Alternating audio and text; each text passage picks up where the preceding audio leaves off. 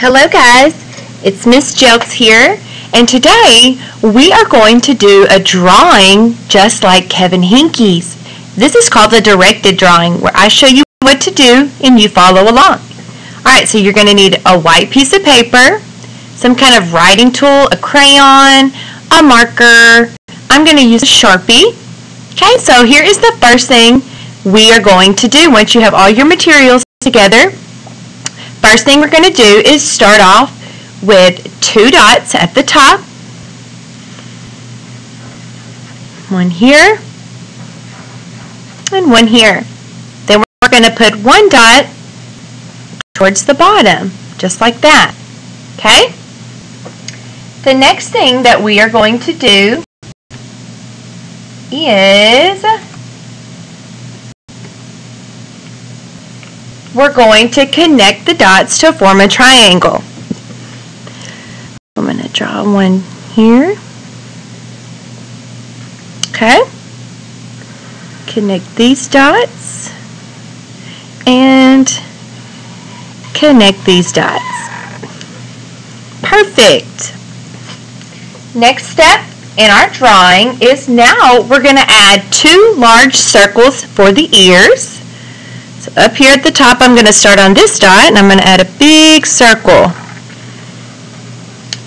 Whoops. Now another one over here.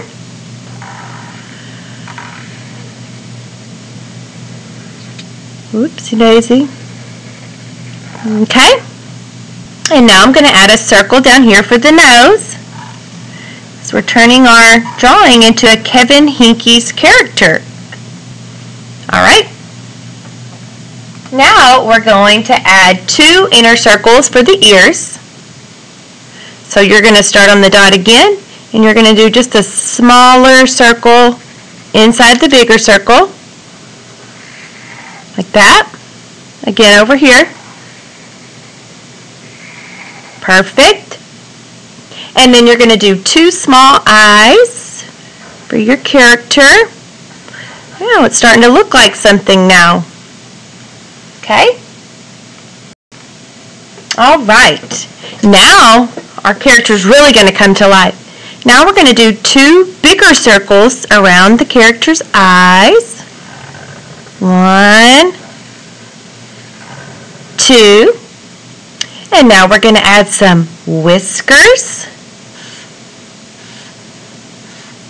This side.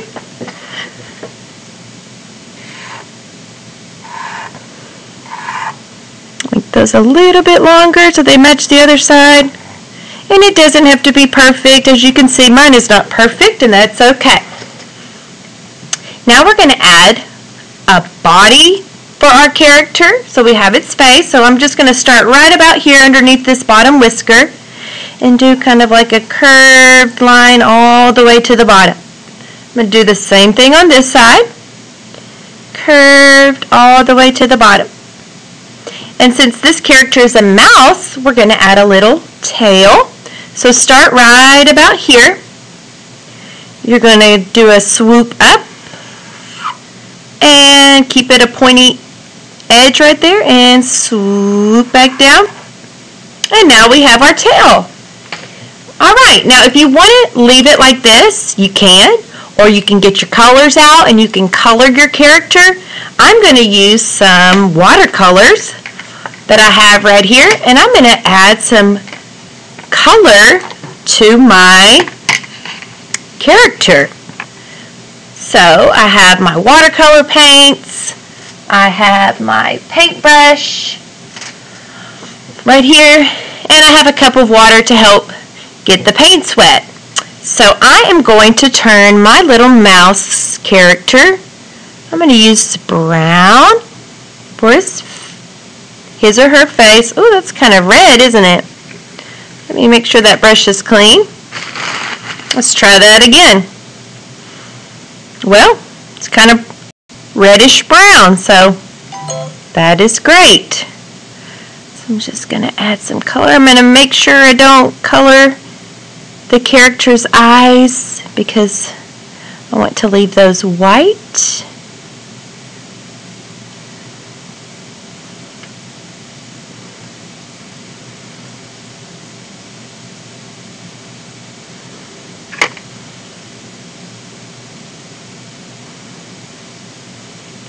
I love to use watercolors to paint because it's quick and it's easy and it's definitely less messy.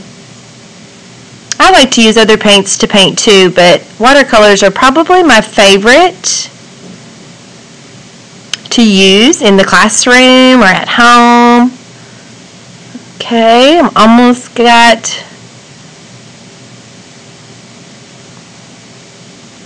his face finished. Be real careful around those eyes. Okay. Okay, looking pretty good. All right, now I'm going to add a little bit of pink. I'm going to switch to a smaller brush right here. I'm going to dip it in my water. Get a little bit of pink for the inside of his mouse ears.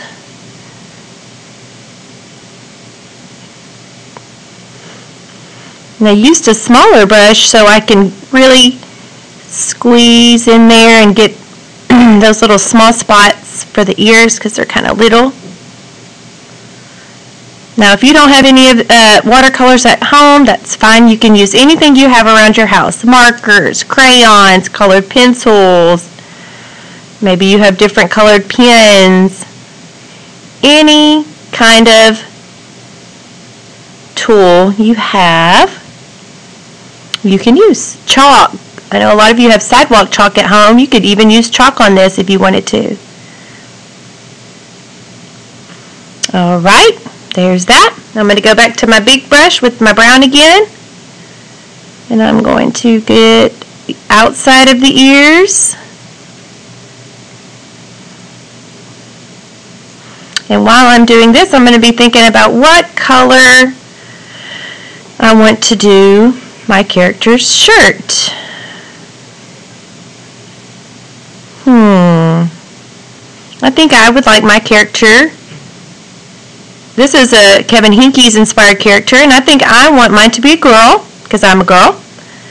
And I'm going to do my shirt, I think purple. But first let me do my mouse's nose. I'm going to do pink for the little mouse nose.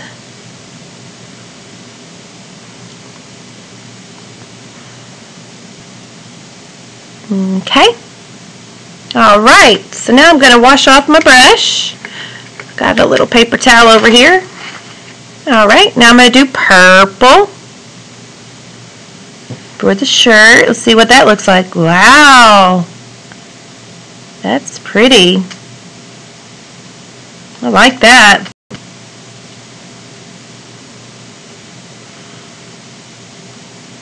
Hmm, I'm trying to think what I should name my character. I'm not sure. I love all of uh, Kevin Henkes' character names. I think they're so cool, like Chrysanthemum, Sheila Rae, Lily, Owen, Chester. They're very different names, and I think that's really cool. So I want to think of a really different name for this character.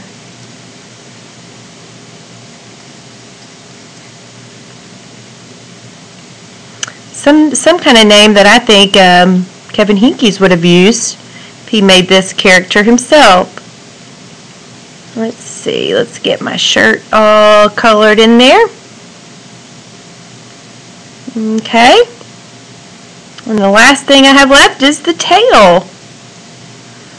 I think I'm going to go with brown again like I did for her face.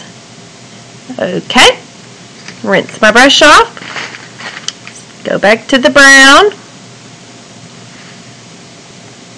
Let's get her tail all colored in.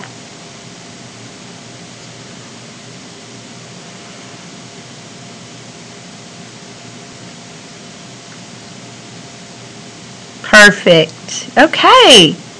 Well, I am done with my Kevin Henkes inspired character, mouse character, and while I was painting, I thought about naming her Gwendolyn. That sounds like a name that Kevin Henkes would have used on this character. So here is my Kevin Henkes inspired character, Gwendolyn. I hope you enjoyed this uh, direct drawing lesson and I hope you have fun with it like I did. I'll see you next time.